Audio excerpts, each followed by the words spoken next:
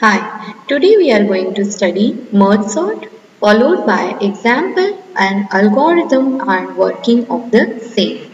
Then we will see how to analyze merge sort algorithm. Merge sort is basically divide and conquer technique to sort and list elements. In divide, as we know, divide and conquer technique works in a three stage. Divide stage, conquer stage and combine stage. In a divide stage, we partition a list or array elements into two equal parts, each of roughly size n by 2. In conquer stage, we keep on subdividing the array recursively unless and until each sublist contains minimum one element. As soon as every sublist contains only one element, we combine these lists in a sorted manner. So in a merge sort, division is dividing a list of n elements into n by 2 size each and sorting takes place in a combined stage. So basically there are two stages divide and combine. Let us see how it works. Say for example these are the element array list in which elements are given, we divide these elements into two sublists, each of size n by 2. Now as you can see there are odd number of elements so one more element will be over the left hand side sublist and n by 2 elements will be over the right hand side sublist. Again these lists are keep on divided into two halves each of size n by 4. So four elements are getting divided into two sublists, each contains two elements. A sublist which contains three elements is divided into two elements, two sublists, one contains two elements and another contains one element. Now if any sublist contains one element, we cannot further divide it. So only those sublists which contains more than one element will get divided. So likewise, they are again getting divided and at this stage, each and every sublist is containing at least one element in it and not more than one element inside it.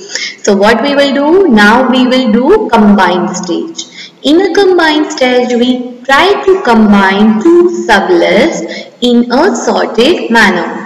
So any two sublists are combined to make a larger sublist. Similarly, next two sublists are combined to take another larger sublist and this process is keep repeated unless and until the original two sublists are combined to make our original sublist of n elements. So likewise, after combining all these sublists, we generate our original list which is already in sorted manner. Now, let us see an algorithm for merge sort. An algorithm for merge sort takes an input an array A from index 0 to n minus 1 as well as it also takes starting and ending index of elements that is low and high respectively. Now merge sort will first check whether list contains minimum one element or not. So if list contains more than one element or an exactly one element, my low index must be lesser than or is equal to high. But if low is, is equal to high index, the elements in the list is only 1. But if low index is lesser than high index, that means list contains more than one element in it. And only in that case, we need to divide a list into two halves. Otherwise, we need not to divide them. So to check whether list contains more than one element in it, we evaluate the condition low index is less than high index. If that is the case, we have to find out mid index of an array list. So mid index is calculated as low plus high divided by 2. So in this case, mid will be calculated and we will call or apply merge sort recursively over two different sublists. One sublist is generated from low index to mid index and another sublist will be generated from mid plus 1 to high index. So merge sort will next in next line we will call merge sort recursively by passing the same array k but now indices are from low to mid as my left sub array list. And merge sort is also applied towards the right hand side sub array which is also applied over A but indices are mid plus 1 to high. So this way uh, we have called merge sort twice over two different sublists of original list A. Now there is a next step is to combine these two sublists. Now in order to combine these two sublists, we make a call to combine algorithm which take input array A as well as three indices like starting of the index that is low, middle of index that is mid and ending of array list that is, is equal to high. We will see in detail how this combined algorithm works. But for algorithm merge sort, it make recursive call to itself twice, one for low to mid and another one from mid to high. And it also runs or calls combine algorithm. Let us see how combine algorithm will work and let us understand with the help of one example. Let us suppose we have two sublists, left subarray which is already sorted and right subarray which is already sorted. And we need to merge them into one sorted list. So how it would work? For this, we would create a new auxiliary space which is of the size is equal to the size of left subarray plus size of right subarray. So the combined array space or a temporary auxiliary space is reserved. Now we will initialize some indices.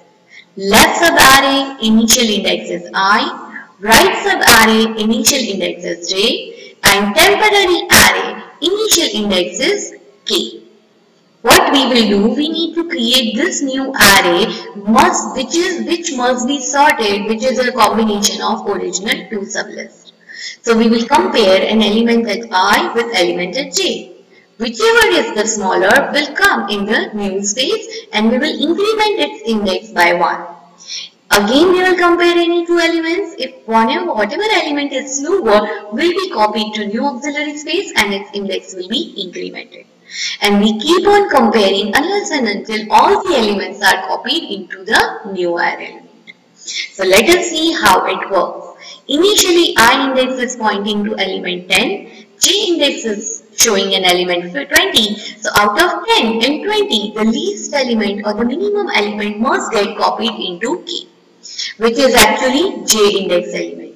So out of 10 and 20, 10 will be copied if A of i is lesser than A of j. In that case, we will copy A of i into temp of k because this temporary array element is having index k. And we will also increment our index i as well as index k so that the next element which is lesser will be now at the new location in a temporary array. In this case, 10 will be copied and ki will be incremented as well as k will be also incremented. Again, we will compare element at i with element at j. Is e of i is lesser than e of j? 30 is lesser than 20. Condition is false. So in this case, that is in else part where a of i is actually greater than a of j, we have to copy j element into k. So that's why we will write temp of k is equal to a of j. Element at j will be copied inside temp of k. In this case 20 and then we have to increment j and k. So in this case 20 will get copied, j will be incremented and k will be incremented.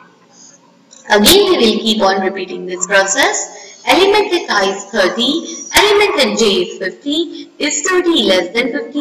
Yes, in that case we will copy 30. We will increment i and k in this case. So 30 will be copied, i will be incremented and k will be incremented.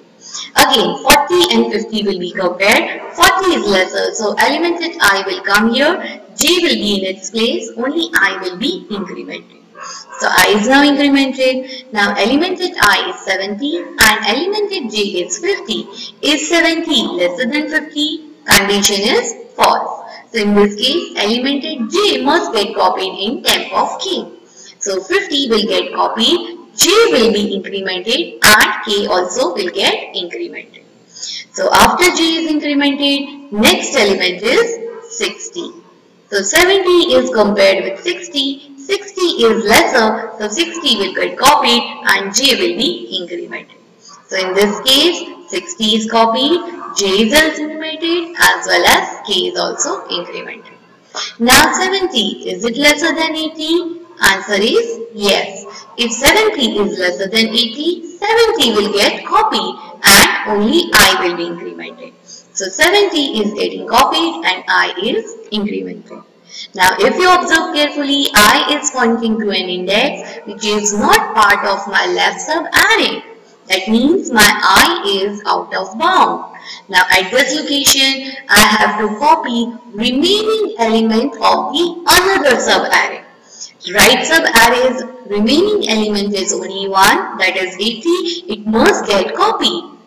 So after this step, we will copy all the remaining elements of another sub array. list.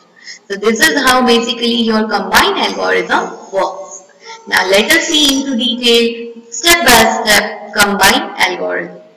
So first combined algorithm will take an input A, low, mid and high index. We initialize K as our starting or low index.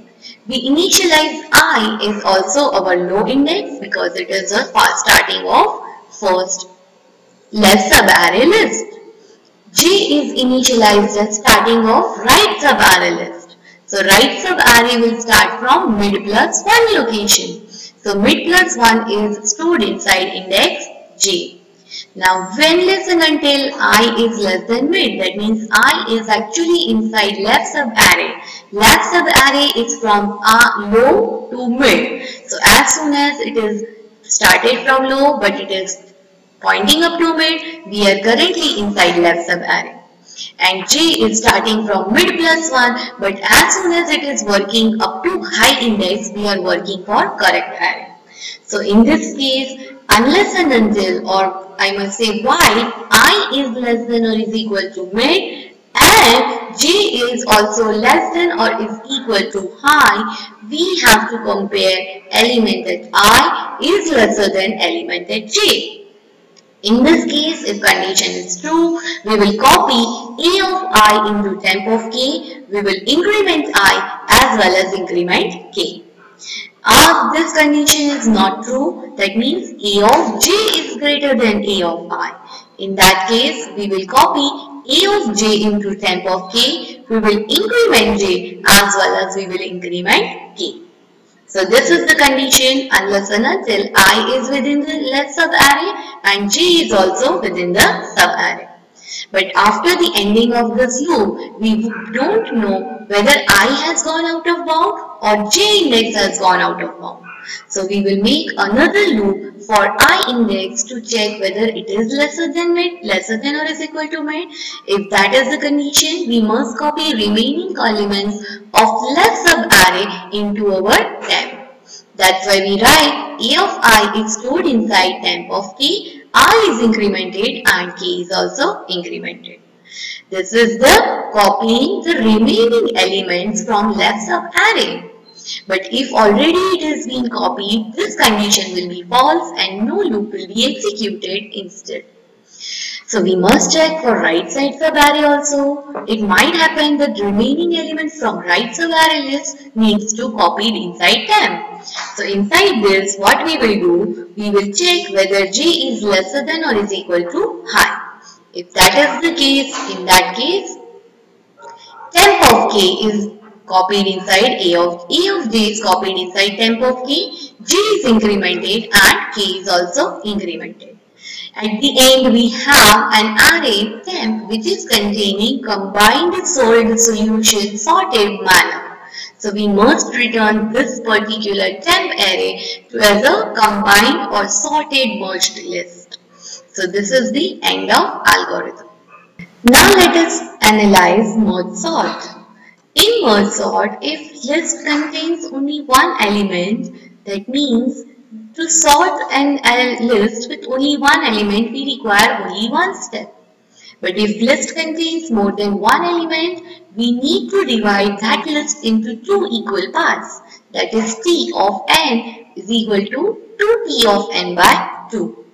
In this merging step of these two different sublists would require n steps because n by 2 elements are combined with n by 2 elements to generate list of n elements. t of n is equal to 2t of n by 2 plus n. First component 2t of n by 2 is dividing n element list into 2 n by 2 list and second component n is merging two n by 2 list into one n element list. So this is our recurrence equation and this case uh, initial condition is given as t of 1 is equal to 1.